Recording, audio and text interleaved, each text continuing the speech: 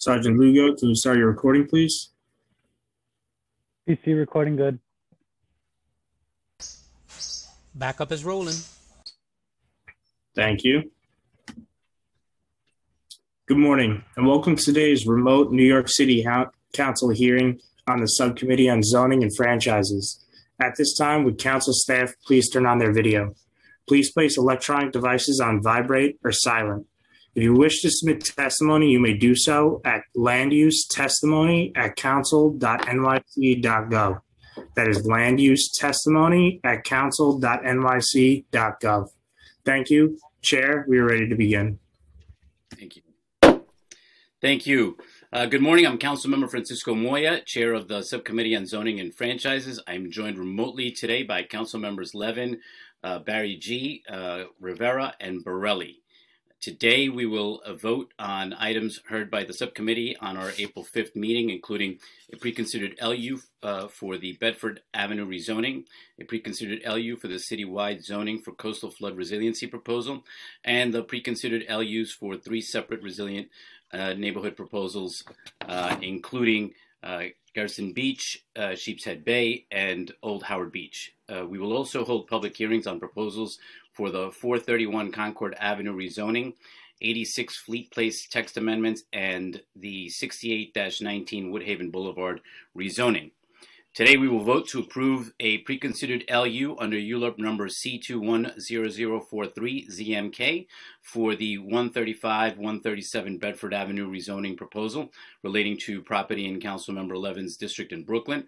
The proposal seeks a zoning map amendment to establish a C14 overlay uh, district in existing R6A and R6B districts on the east side of Bedford Avenue between North 9th and North 10th Streets. The proposed action would match an existing commercial overlay district across the street and facilitate a new mixed use development with ground floor commercial use and residential units on the upper floors. Councilmember Levin is in support of the proposal. We will also vote to approve three separate but related proposals by the Department of City Planning under the Resilient Neighborhoods uh, Initiative. These proposals are all intended to facilitate resilient development in areas vulnerable to flooding we will vote to approve preconsidered LUs under C210130 ZMK and N210131 uh, ZRK for the Gerritsen Beach uh, Resilient Neighborhoods proposal relating to property in Councilmember Maisel's district in Brooklyn. The proposal seeks a zoning uh, a zoning map amendment to change existing R4, C3, and C22 districts to R1, C3A, and C23 districts, and a related zoning text amendment to establish a new special coastal risk district. Councilmember Maisel is in support of the proposal. We will also vote uh, a preconsidered LU under N210132 ZRK for the Sheepshead Bay Resilient Neighborhood Proposal relating to property in Councilmember Deutsch's district in Brooklyn. The proposal seeks a zoning text amendment to align existing regulations of the special Sheepshead Bay District with flood resilient buildings and design standards. Councilmember Deutsch is in support of the proposal. We will vote to approve a preconsidered LU under C210133 ZMQ for the Old Howard Beach Resilient Neighborhoods proposal relating to property in Councilmember Ulrich's district in Queens. The proposal seeks a zoning map amendment to replace an existing 3, R31 and R32 district with R3X and R31 districts uh, to more closely match the existing build context. Uh, Councilmember Ulrich is in support of the proposal, and we will vote to approve with modifications the preconsidered LU for the Department of City Planning's zoning for coastal flood resiliency proposal under ULURP's number N210095ZRY. This is a citywide zoning text amendment to update temporary provisions adopted on an emergency basis after Hurricane Sandy and is intended to facilitate flood resilient design measures to provide better protection from flood risks in vulnerable areas, support public access to waterfront sites through resilient open uh, space design and help New Yorkers recover quickly from our future disasters. Uh, our modification will include clarifications around applicability of the proposed uh, floodplain regulations, as well as clarifications to certain bulk regulations, including changes to uh, address community feedback regarding uh, floor area, as well as to permit obstruction obstruction rules for buildings and spaces accommodating new accessory um, mechanical equipment. Um, I now would like to take this opportunity to um, allow any of the council members uh, who are present that would like to uh, speak on any of one of the rezonings, if there are any.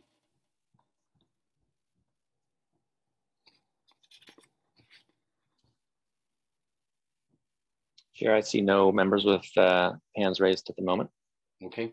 Uh, and before I call a vote, I'd like to also acknowledge that we have been joined by uh, Council Member Ayala. Uh, and now I, I now call for a vote to approve the preconsidered LUs relating to the Bedford Avenue rezoning proposals and the resilient neighborhoods proposal for uh, Gerritsen Beach, uh, Sheepshead Bay, and Old Howard Beach, and to approve with modifications. Uh, I've described the preconsidered LU for the zoning for coastal flood resiliency proposal. Uh, Council, can you please call the roll? Chair Moya, I vote aye.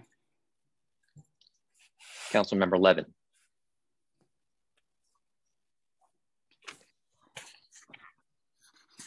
I vote aye. Councilmember Grodenchik, Aye. Councilmember Ayala,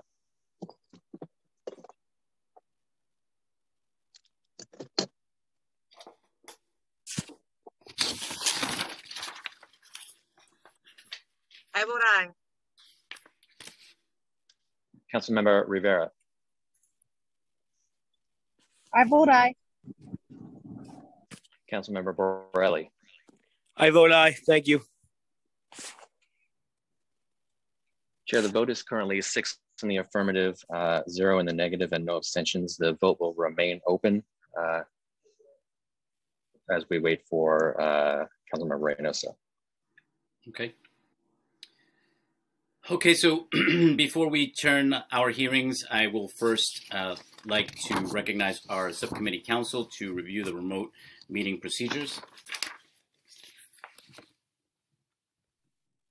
Thank you, Chair Moya. I am Arthur Ha, counsel to this subcommittee. Members of the public wishing to testify were asked to register for today's hearings. If you wish to testify and have not already registered, we ask that you please do so now by visiting the New York City Council website at www.council.nyc.gov to sign up. Members of the public may also view a live stream broadcast of this meeting at the Council's website. As a technical note, for the benefit of the viewing, viewing public, if you need an accessible version of any presentation shown today, please send an email request to land use testimony at council.nyc.gov. When called to testify, individuals appearing before the subcommittee will remain muted until recognized by the chair to speak. Applicant teams will be recognized first.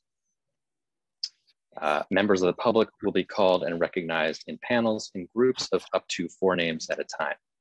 When the chair recognizes you, your microphone will be unmuted. Please take a moment to check your device and confirm that your microphone is on before you begin speaking as there is a slight delay in the process of unmuting. Public testimony will be limited to two minutes per witness. If you have additional testimony you would like the subcommittee to consider, or if you have written testimony you wish to submit instead of appearing before the subcommittee, you may email it to landusetestimony at council.nyc.gov. Please indicate the LU number and or project name in the subject line of your email. During the hearing, council members with questions should use the Zoom raise hand function. The raise hand button should appear either at the bottom of your participant panel or at the bottom of your primary viewing window. Council members with questions will be announced in order as they raise their hands, and Chair Moya will recognize members to speak. Witnesses are requested to remain in the meeting until excused by the chair, as council members may have questions. Finally, there will be pauses over the course of this meeting for various technical reasons, and we ask that you please be patient as we work through any issues. Chair Moya will now continue with today's agenda items.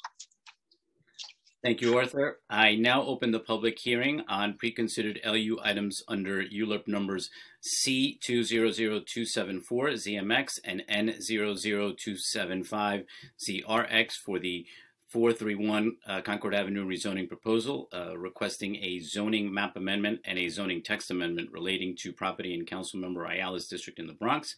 Uh, I will remind the viewing public for anyone wishing to testify on this item, if you have not already done so, you may register online in advance and you may do that now by visiting the council's website. Um, and now I would like to take this opportunity to uh, recognize Council Member uh, Ayala for some remarks.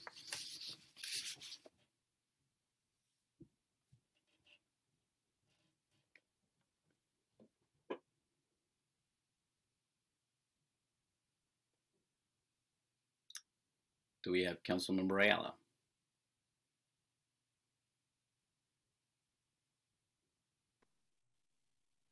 Councilmember Ayala is here. We may just be having a technical issue. I know she's in a remote location. Okay, let's give her a minute.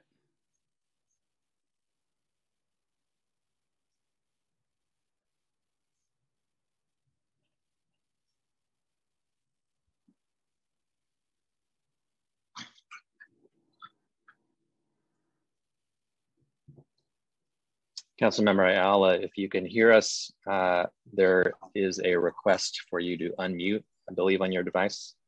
Okay. Sorry, I'm muted. I was on an emergency call. No worries. I didn't hear what you were calling me about. No, no worries, Councilwoman. Uh, we are about to go into the uh, rezoning proposal in your district, and uh, I was uh, seeing if you wanted to give any opening remarks. If not, um, we can. I don't. I, I didn't prepare any remarks other than you know what I will share is that I am in support of this project. The the property is now dilapidated, um, underutilized space. Um, that's really just you know hasn't brought any real benefit to the community. So the redevelopment. Um, you know, of the lot in and of itself is a huge win for the community.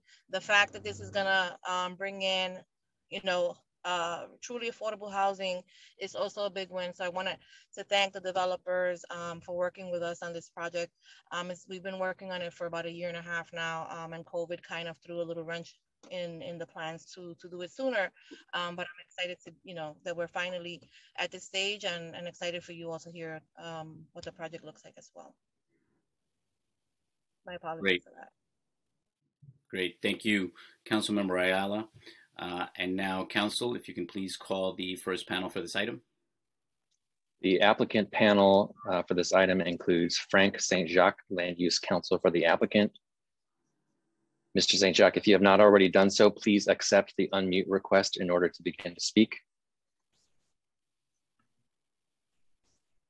Great, thank you. Um, I'll go ahead and begin my presentation. We presentation. will, uh, Oh, One Sorry. excuse me, we'll, we'll second, Frank. swear you in first. Yeah, thank you. uh, Please, Council, if you can please uh, administer the affirmation. uh, Mr. St. Jacques, please raise your right hand. Do you affirm to tell the truth, the whole truth, and nothing but the truth in your testimony before this subcommittee and in answer to all council member questions? I do. Thank you.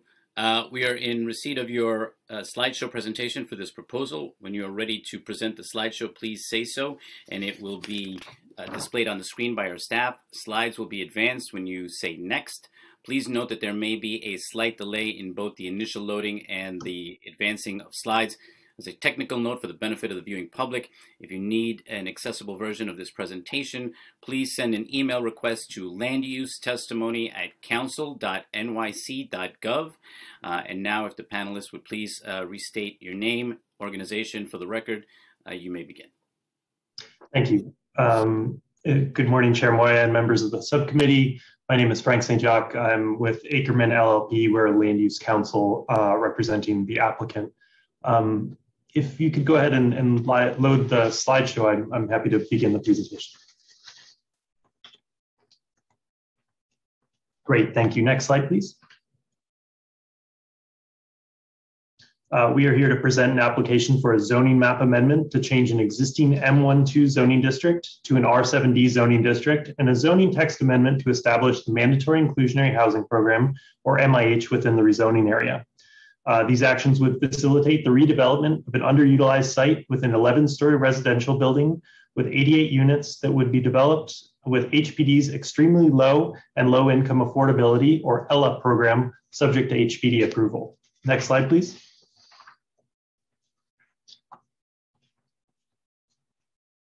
The rezoning area is located at the edge of an M12 zoning district that was mapped in 1964, and the rezoning area is within the transit zone. Next slide, please. The rezoning area is shaded red in this slide, which shows the surrounding built context. It is located at the corner of Concord Avenue and East 145th Street. St. Mary's Park is shown on the left-hand side of the slide. And the 6 train is a few blocks away at the East 143rd Street station at Southern Boulevard on the right-hand side of the slide. The BX19, excuse me, BX17, 19, and 33 bus lines also serve the area. Next slide, please.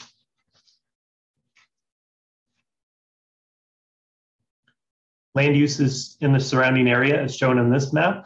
Uh, industrial use shown in purple is concentrated south of the rezoning area in M12 and M13 districts and in the IBZ located south of East 144th Street. Uh, north of East 144th Street near the rezoning area, there's some non-conforming residential use shown in yellow and orange in the M12 zoning district, as well as a few non-conforming industrial uses further north in the R71 residential district. Next slide, please. The rezoning area consists of the northeastern portion of the block, including three contiguous tax lots. The development site is approximately 13,750 square feet and has about a 125 feet of frontage on Concord Avenue. Next slide, please. The proposed rezoning would change the red shaded portion of the zoning map from M12 to R7D. And the proposed rezoning would allow for the production of new housing within Bronx Community District 1, which is not currently permitted in the existing M12 zoning district. This zoning change is appropriate because the rezoning area is located at the edge of the M12, excuse me, the edge of the M12 zoning district adjacent to an R71 residential district, which has comparable bulk provisions to the proposed R7D. It's also in close proximity to public transportation and within walking distance to St. Mary's Park. Next slide, please. The proposed rezoning would facilitate the development of an 11-story quality housing residential building with approximately 88 units. Uh, it would rise to 11 stories after and after 15 foot setbacks on uh, above a nine story base. Next slide, please. Here's some uh, illustrative massings showing the design, which incorporates different facade materials. Uh, and outdoor space would be provided um, via balconies and as well as a 2,500 square foot recreation area on the roof. Next slide, please. Here's street views showing the improved streetscape with the proposed development. Next slide, please. And this is the final slide. Um, the applicant is seeking to develop the building with HPD's ELLA term sheet. Subject to HPD approval, half of the 88 units, or 44, would be affordable at less than 50% of the area median income. The remaining half, or the remaining 44, would be affordable at less than 80% AMI. Uh, we note that there's a 15% set aside for formerly homeless households. And the ELLA term sheet requires that uh, when developed under MIH, the number of permanently affordable units would be increased by 15%, or here 13 units, uh, reaching a total of 35 permanently affordable units. Um, that concludes my presentation, but I'm happy to answer any questions.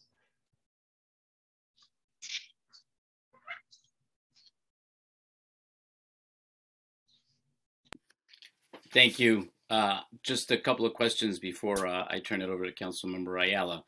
Um, I know that uh, the Bronx Community Board, one, uh, didn't approve this application. Uh, can you speak to the work that your team has done uh, since then to engage the community support on this project and address uh, some of the concerns that were raised by CB1? Sure. I, I, think really one of the main concerns was the um, the condition of, of the site when we initially met with the community board uh, in fall of last year. Um, before that time, and, and then in particular since that time, um, the uh, applicant owner of the site has um, arranged for uh, several times a week um, someone coming out to, to maintain the site to make sure um, that there's no debris, uh, to, to clean the site. Um, the uh, owner has also sought uh, permits to demolish the site in anticipation of, of the development. Um, there's a dilapidated structure there that's that's caused some problems. Um, there's been a fire, um, so we're seeking to have that that demolished and um, in preparation for uh, the proposed development. Okay, uh, and over the course of planning for this project, the number of anticipated units uh, had decreased from 92 units to 88. Can you speak to why that is? And is that due to the increase in two bedroom, three bedroom units in this project? That, that's correct. Um, when we had met with the uh, borough president's office, um, uh, there was a request that the number of two and three bedroom units be increased. Um, that uh, in order to increase the number of two and three uh, bedroom units, there is a decrease in studios and ones. Um, so the overall unit count uh, went from, I believe, 92 units uh, to the current 88 units. Okay. So wait, can you say that again? How many two to three bedroom units are planned for the project? Um, there are currently, one moment. Yep.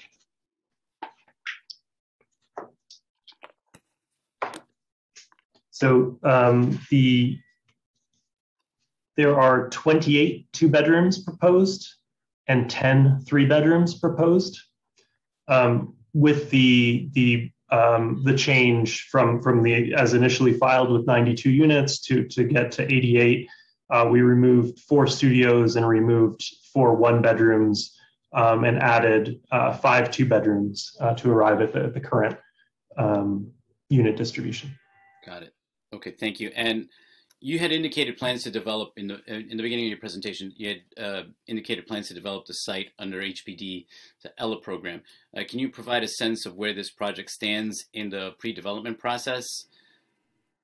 Sure. Um, so the initial intake form has been uh, uh submitted to HPD, um, and HPD has has uh, provided comments on the initial intake form. Um, and we're currently in the process of responding to those comments uh, in order to, to move forward with the project. And when do you expect uh, to close on the HPD financing? Uh, that that I actually don't know offhand, um, but I can discuss that with uh, with the project team and our affordable housing consultant, um, and potentially with HPD, uh, and provide that information after the hearing if possible. And and and maybe you can find out as well of when you expect to secure all agency approvals needed to begin construction on this development? I, would be happy to, to find out information and provide it uh, to your office. Okay, great. Um, and uh, last question before I turn it over to Council um, Member Ayala. Has a general contractor been selected for this project? Uh, not as of yet. Okay. Uh, and when you do, can you speak to whatever efforts will be made to uh, hire locally on the construction projects and what efforts will be made to hire MWBE firms on the construction of this project?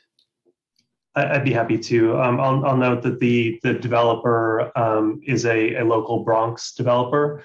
Um, they've uh, and, they've also developed some some uh, buildings within Brooklyn, um, but that's you know typically their their process is, is to work locally um, but I can provide more detail in, in writing. Thank you. I appreciate that. Uh, that's it for me. Um, Councilmember Ayala, uh, if you have any questions, we'll turn it over to you. Sorry, I'm having difficulty unmuting this morning.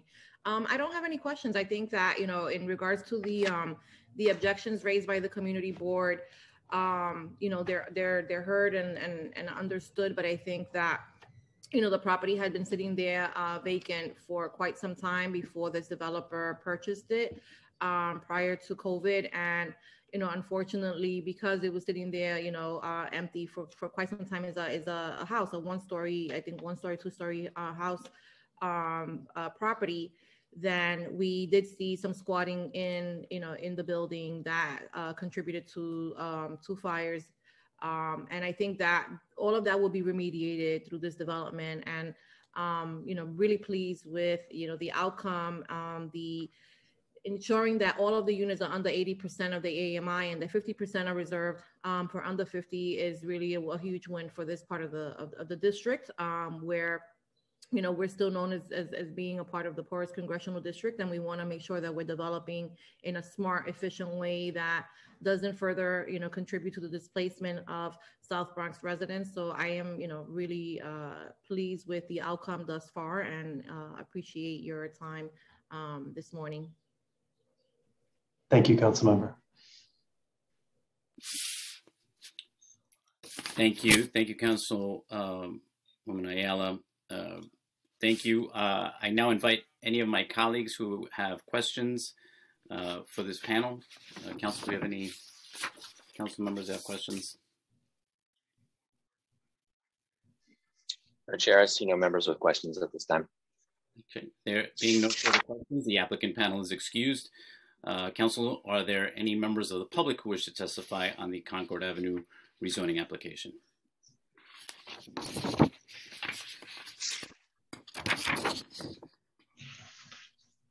If there are any members of the public who wish to testify on the Concord Avenue rezoning proposal, please press the raise hand button now.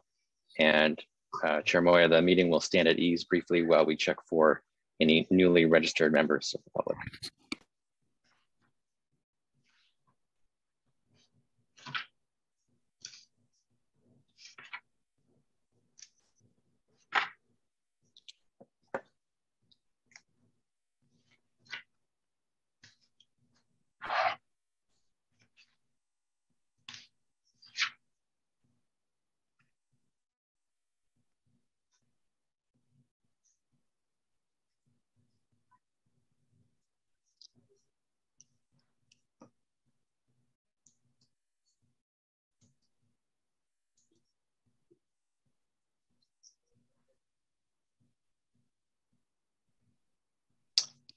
Uh, okay, Chair Moya, I see no other members, uh, no members of the public who wish to testify on this item. Uh, there being no members of the public who wish to testify on the pre-considered LU items under L, uh, under ULURP number C200274ZMX and N00275ZRX for the Concord Avenue rezoning proposal, the public hearing is now closed and the items are laid over. Uh, I now open the public hearing on the pre-considered LU item under ULURP number N210061 ZRK for the 86 Fleet Place proposal, seeking a zoning text amendment relating to property in Majority Leader Cumbo's district in Brooklyn. As a general reminder to the public, if you wish to testify in this meeting, please visit the Council's website now to complete the online registration process, or you may also submit written testimony to land use testimony at council.nyc.gov. Um, now, Council, if you can please call up the first panel for this item. The applicant panel for this item will include Rachel Skal, Land Use Counsel for the applicant, and Ralph Zirinsky uh, on behalf of the applicant. Panelists, if you have not already done so, please accept the unmute request in order to begin to speak. Thank you. And council, if you could, please um, administer the affirmation. Panelists, please raise your right hands. Do you affirm to tell the truth, the whole truth, and nothing but the truth in your testimony before this subcommittee and in answer to all council member questions? I do. Yes. Thank you. Thank you. Uh, we are in receipt of your slideshow presentation for this proposal. When you are ready to present the slideshow, please say so and it will be displayed on screen by our staff. Slides will be advanced when you say next. Please note that there may be a slight delay in both the initial loading and the advancing um, once uh, advancing of slides, once again, anyone who requires an accessible version of this presentation uh, may send an email request to land use testimony at council.nyc.gov. And now if the panelists would please uh, restate your names and organizations for the record, you may begin. Good morning. My name is Rachel Skal. I'm associate at Greenberg Traurig. Um, Ralph, do you want to go ahead and state your name? Hi, uh, Ralph Zirinsky, Red Apple Real Estate. Sorry, my video's getting an error message. Thanks. Um, if whoever's controlling the slides could pull those up, greatly appreciate it. Thank you. Um, so I'm with Greenberg Traurig. We represent Red Apple Fleet 86 Fleet Place Development LLC in this application to amend the special downtown Brooklyn district's retail continuity requirements. Next slide, please. Um, and I'm joined today by Ralph on behalf of Red Apple. Red Apple owns 86 Fleet Place at the southwest corner of Myrtle Avenue and Fleet Place in a C64 zoning district in the special downtown Brooklyn district. Next slide, please. You see the property there in red. Next slide, please. The property is improved with a 32 story building that was completed in 2017. The building's ground floor within 50 feet of Myrtle Avenue is subject to the special district's retail continuity restrictions, which requires such space be used for limited, generally commercial uses. Next slide, please. The building's ground floor con contains approximately 10,000 square feet of space that has been reserved for retail use. The applicant has been marketing this space for use by up to four commercial tenants since 2016. Despite those efforts, the space remains empty.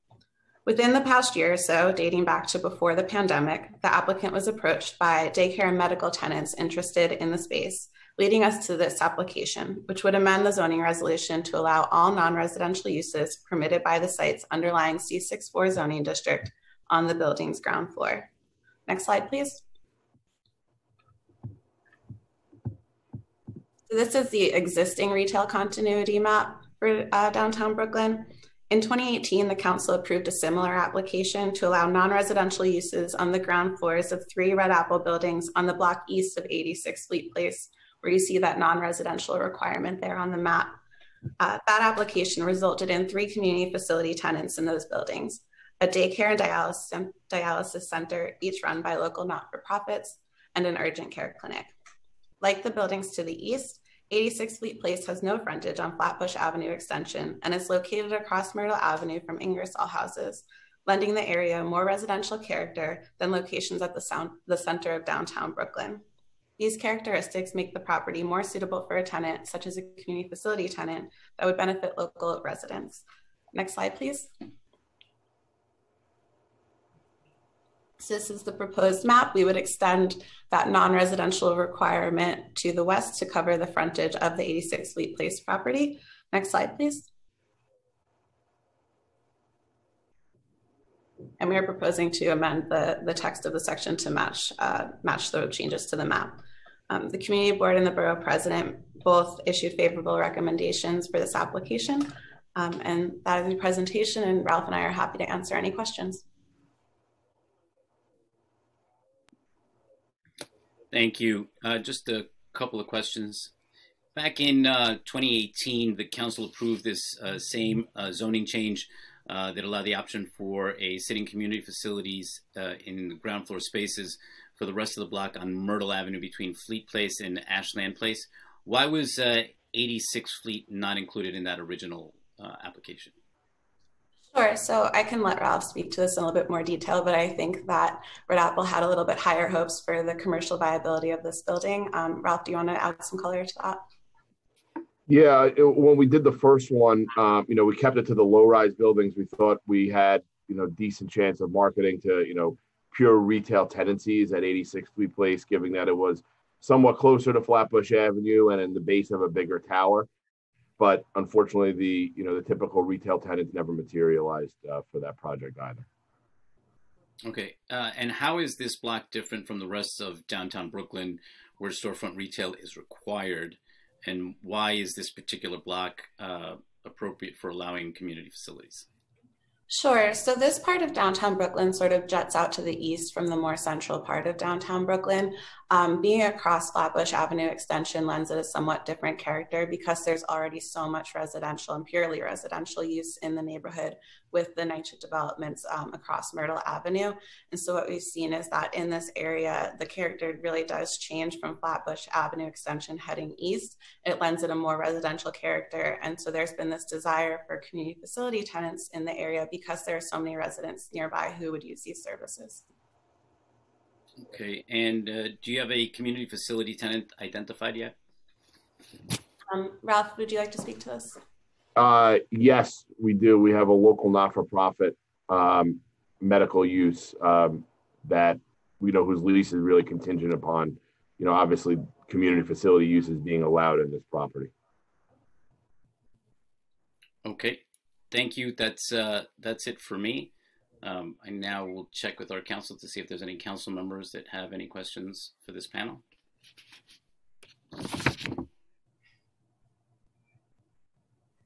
No, Chair, I see no members with questions for this panel. Okay. There being uh, no further questions, the applicant panel is excused. Uh, counsel, are there any members of the public who wish to testify on the 86 Fleet Place uh, proposal?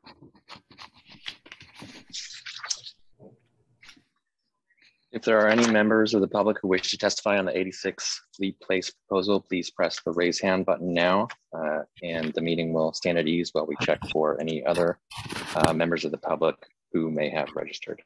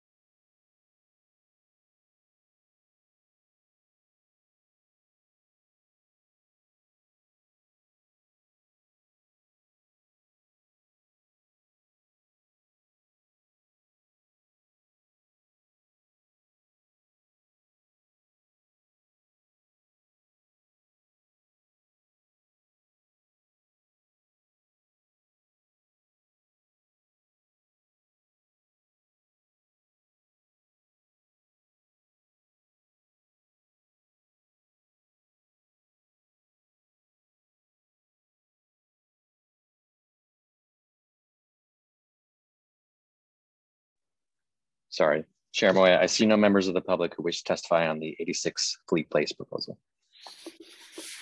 Uh, thank you, Arthur. There being no members of the public who wish to testify on the pre-considered LU item under ULURP number N210061ZRK for the 86 Fleet Place proposal, the public hearing is now closed and the item is laid over. Uh, I now open the public hearing on pre-considered LU items under ULURP numbers uh, C200272ZMQ and N200273ZRQ for the 68-19 Woodhaven Boulevard rezoning proposal, which seeks a zoning map amendment and a zoning text amendment, uh, and which relates to property in Councilmember Koslowitz's district in Queens. Uh, I will remind the viewing public for anyone wishing to testify on this item. If you have not already done so, you may register online in advance, and you may do that now by visiting the Council's website. Uh, Counsel, if you can please call the first panel for this item. The applicant panel for this item will once again be Frank St. Jacques, Land Use uh, Counsel for the applicant. Mr. St. Jacques, if you have not already done so, please accept the unmute request uh, in order to begin to speak. Great, thank you. And counsel, if you could please administer the affirmation. Analysts, uh, please raise your right hand. Do you affirm to tell the truth, the whole truth, and nothing but the truth in your testimony before the subcommittee and in answer to all council member questions? I do. Thank you. Thank you. Uh, we are in receipt of your slideshow presentation for this proposal. When you are ready to present the slideshow, please say so and it will be displayed on screen by our staff. Slides will be advanced when you say next. Please note that there may be a slight delay in both the initial loading and the advancing of slides. Once again, anyone who requires an accessible version, version of this presentation may send an email request to landusetestimony at council.nyc.gov. And now, if the panelist uh, would restate your name and organization for the record, uh, you may begin. Thank you. Um, good morning, Chair Moya uh, and subcommittee members. Uh, again, I'm Frank St. Jacques of Akerman LLP representing the applicant.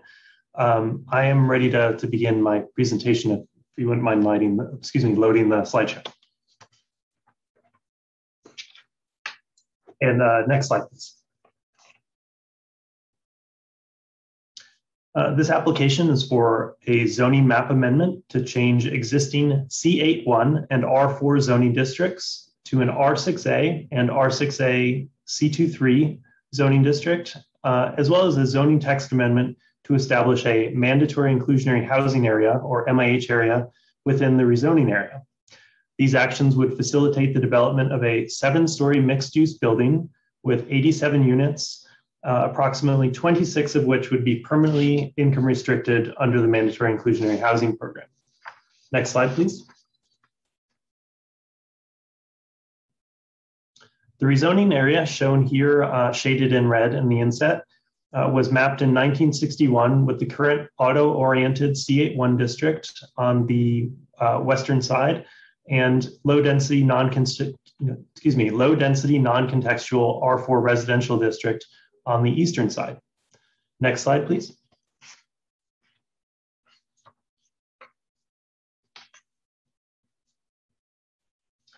The rezoning area includes the approximately 26,000 square foot development site uh, outlined in red, and the adjacent site to the east, which is improved with a six story and basement, 69 and a half foot tall residential building that is non-compliant in the R4 zoning district that is mapped on that portion of the rezoning area. You can see two other similar six story and basement multifamily buildings to the south and southeast of the development site uh, shown in um, uh, along uh, Yellowstone Boulevard. Uh, Woodhaven Boulevard, bounding the development site to the west, is a wide street. St. John's Cemetery is located across Woodhaven Avenue, further to the west, and several bus lines are available in the area, providing connections to subway and Long Island Railroad service. Next slide, please. The proposed R6A with a C23 commercial overlay and R6A districts would be mapped along the 68th along 68th Road between Woodhaven Boulevard to the west and Alderton Avenue to the east, as shown in this uh, zoning change map. Next slide, please. The proposed development is a new seven-story mixed-use building with 87 units. The applicant agreed with Community Board 6's request to lower the building height to seven stories from eight stories and provide lower levels of affordability for the project under MIH by providing two of the three MIH income bands at 60% AMI, uh, in addition to uh, several construction protections um, that were requested by the Community Board. This results in 17 of the 26 units uh, being uh, 17 of the 26 MIH units being affordable at 60% AMI. The proposed increase in density is appropriate at this location because of the existing built context, its location on a wide street across from a, and its, excuse me, its location on a wide street across from a significant open space resource and its proximity to public transit. Next slide, please.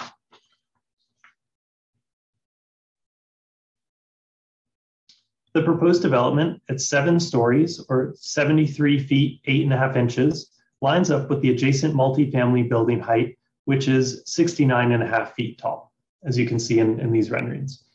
Uh, next slide, please.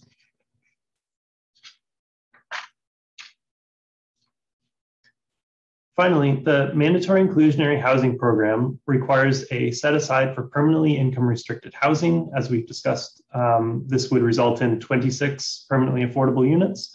Um, the applicant team is partnering with HANAC to be the project's nonprofit MIH administering agent. And this slide shows some of the services that, that would provide uh, in association with this project uh, pursuant to the MIH program. That concludes my presentation, but I'm happy to answer any questions. Thank you. Uh, I just have uh, one quick question uh, here.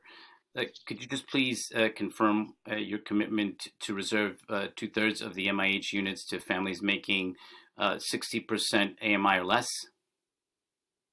Yes, we we um, reconfirmed that commitment. Um, this was a commitment that was made in writing to the community board, and and um, you know we we reaffirmed that commitment. Okay. And what is the, the total number of units uh, that will be serving those families? Um, so the total number of um, income restricted units within the project under um, this modified MIH option two is 26. 26. Okay. Thank you. That's it. That's it for me. Um, counsel, is there any council members who have any questions for this panel? No, Chair, I see no members with uh, questions for this panel. Okay. There being no further questions, the applicant panel is excused. Uh, Counsel, are there any members of the public who wish to testify on the Woodhaven Boulevard rezoning application? Uh, If there are any members of the public who wish to testify on the 6819 Woodhaven Boulevard rezoning proposal, please press the raise hand button now. Meeting, uh, Chair, the meeting will uh, stand at ease while we check for any additional members of the public who may have registered to testify.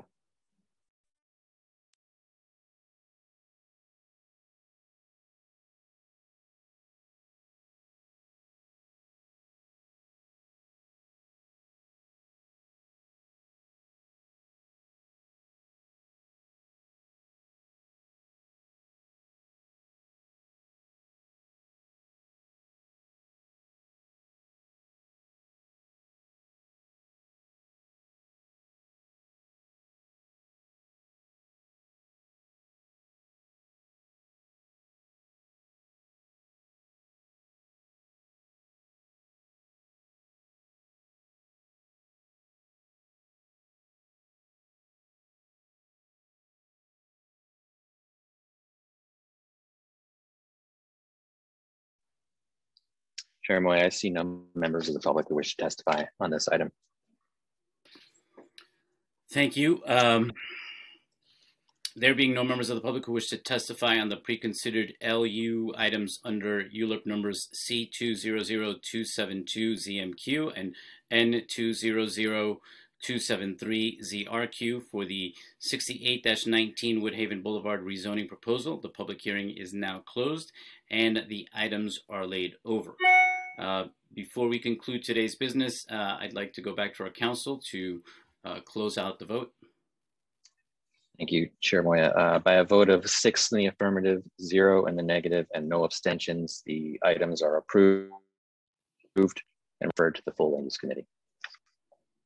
Thank you, Arthur. Uh, that concludes today's business. Uh, I will remind the viewing public that for anyone wishing to submit written testimony for items that were heard today, please send it by uh, email to landusetestimony at counsel.nyc.gov. Uh, I would like to thank the members of the public, my colleagues, uh, the subcommittee council, land use, and other council staff, and of course the Sergeant at Arms for participating in today's meeting. Uh, this